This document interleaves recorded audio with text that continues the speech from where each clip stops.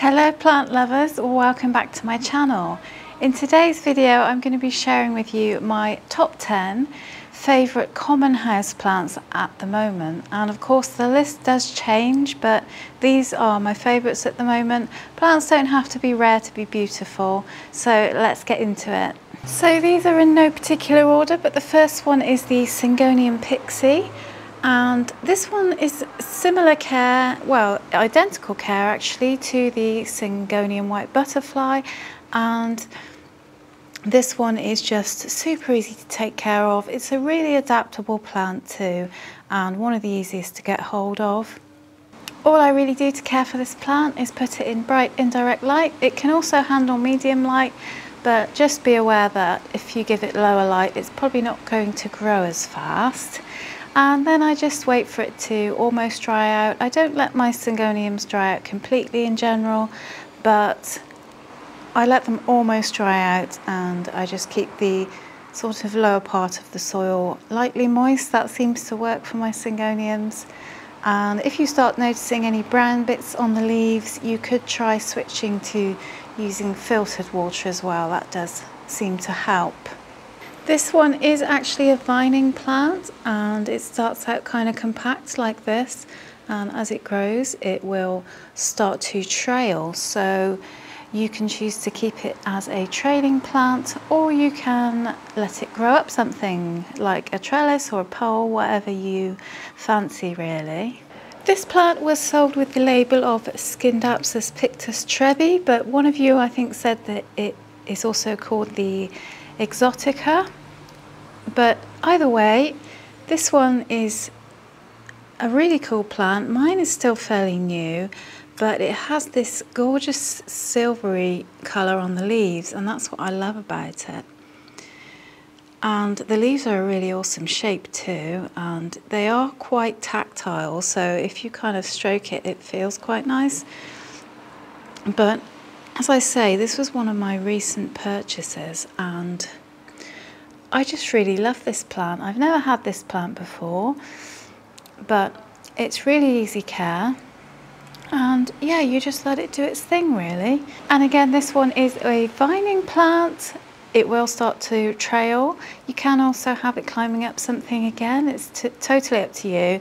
And yeah, with this one, I just let it dry out between watering. I have it in a spot where it gets bright indirect light and I have it in a nice well draining soil as well.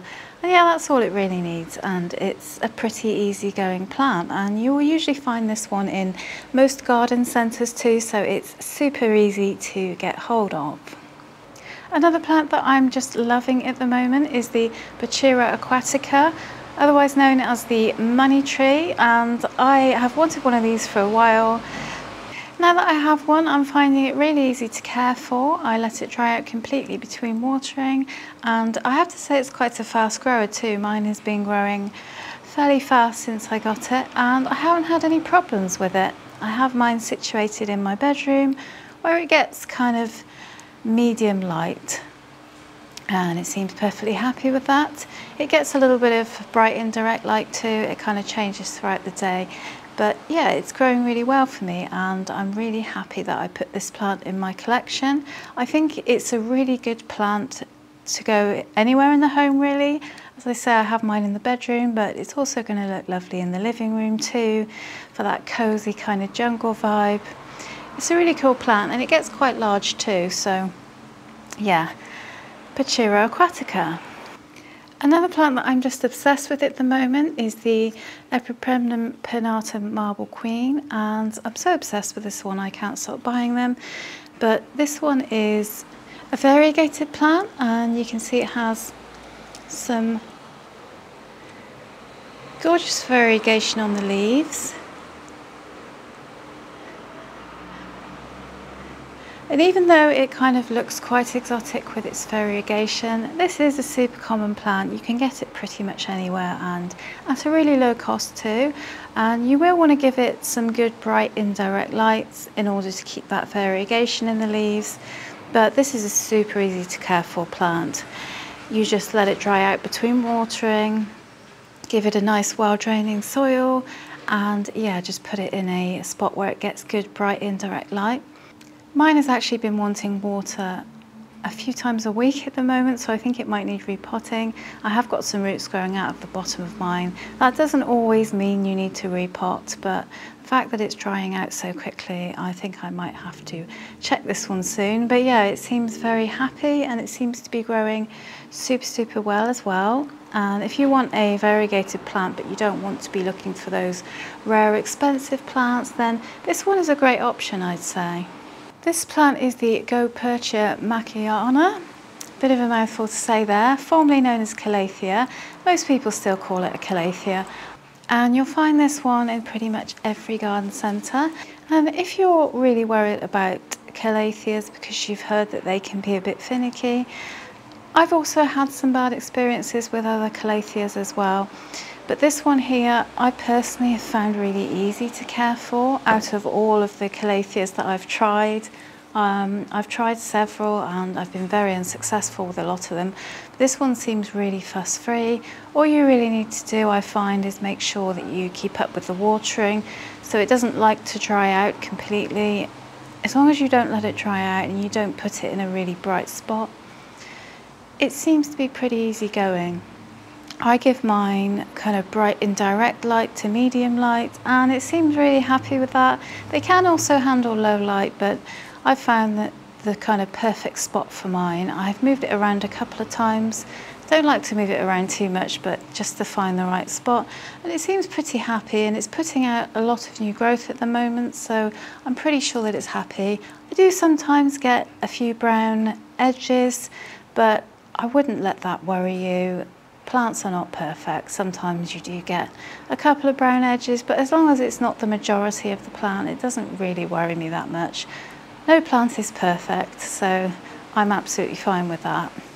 Another plant I think is really underrated is the rubber plant. And I know these are super, super common, and as I say, they often get kind of ignored because people are kind of bored of them, but I personally really love rubber plants.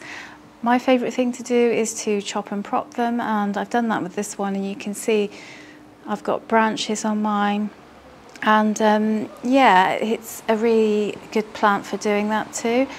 It, they have these gorgeous glossy leaves. They do come in lots of different varieties. This specific one is the Ficus elastica robusta and all rubber plants are really really easy to care for.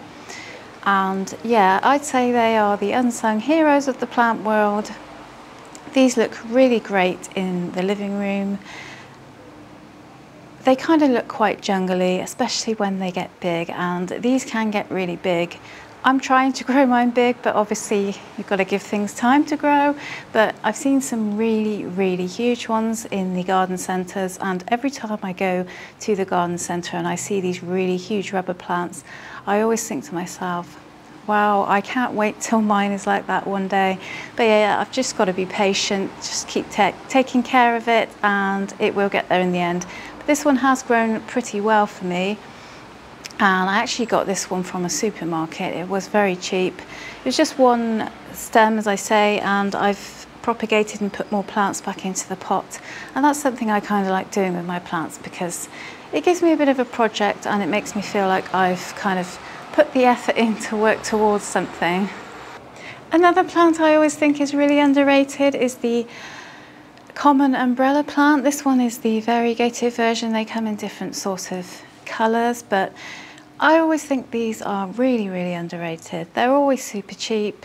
They are very common, as they say, but I just think they give the home a real cosy, jungly vibe, especially since they can grow fairly large.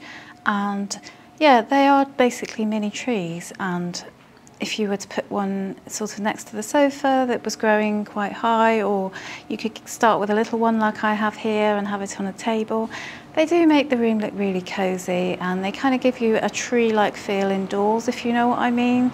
So it's kind of that indoor jungly vibe, which I really love.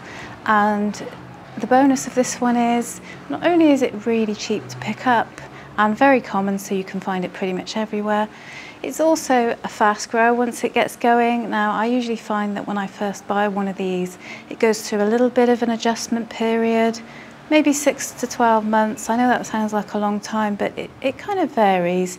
it will grow a little bit slower during that sort of adjustment time. That's what I've found. And then once I've had it for a little while, it then starts growing really fast. I've got one in the bedroom that has grown really fast for me because I've had it for a number of years. And yeah, it, once it gets going, it does really become a satisfying plant to grow. So I'd highly recommend these. And yeah, just be patient with them. They will, they will get going eventually. This is the Ficus benjamina, otherwise known as the weeping fig. And this one I have here is the variegated version, but I think these plants are so underrated. You always see loads of them in the garden centres and people are just passing them by. They're one of those sort of standard staple plants, but I really love them and they are so easy to care for too. Some of them are kind of known for being a bit finicky. I've heard some people say that they don't like being moved around, but I'll be really honest with you, I've moved this one around a little bit and it seems fine. It's growing really well for me and I'd say it's fairly adaptable. Um, but yeah, this plant is, I would say, so underrated. Not only is it really easy, it also is really pretty, especially the variegated version. I mean, look at those leaves. It looks really, really dainty and you can imagine that just sort of in your living room, styled next to your sofa, making it look nice and cozy, maybe with some cozy warm blankets and cushions. I just think it's a really nice plant. You do have to give it a bit of support if you'd like it to stand up. I've often wondered what would it be like to not give this plant support and to just let it kind of do its thing. I've never actually tried that, maybe I will one day, but yeah, definitely the weeping fig highly underrated. And the other thing to mention is really easy to propagate. You just chop a branch off, pop it in some water and I find this roots so, so easily. So yeah, you could make more plants to make a fuller plant. You could make more plants to give them away to family and friends. Another of my all-time favourite common house plants is of course the Monstera adansonii. I absolutely adore this plant. I have loads of them around my house because I propagate mine on a regular basis because this plant propagates so so easily and yeah if you have it growing up a pole as I have here you will find that it looks really exotic it gives that jungle vibe and this is also a really adaptable plant too so it can handle different conditions. It can handle a bit of lower light, but you will find that it grows better if you give it kind of medium to bright indirect light. I just let mine dry out between watering, really simple.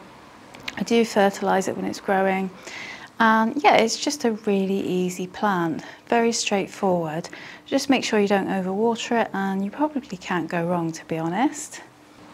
The next plant is this Dieffenbachia and you can see that this one, it grows nice big leaves and it really does give that jungly vibe.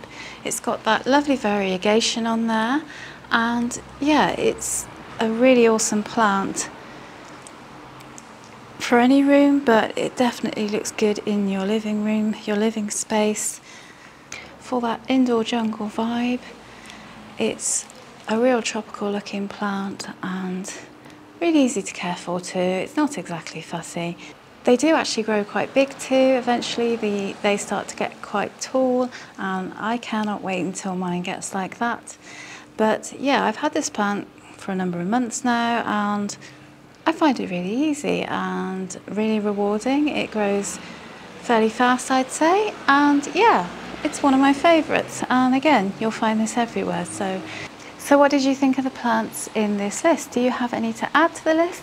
Let us all know down below. Let's share our favourite plants. I'd love to know what your picks would be. They could be completely different to mine and that's the great thing about plants. We're all different, aren't we? So yeah, let's have a discussion in the comments. And if you enjoyed the video, give it a thumbs up and hit that subscribe button if you haven't already. And until next time guys, as always, make sure you look after your plants and look after yourself.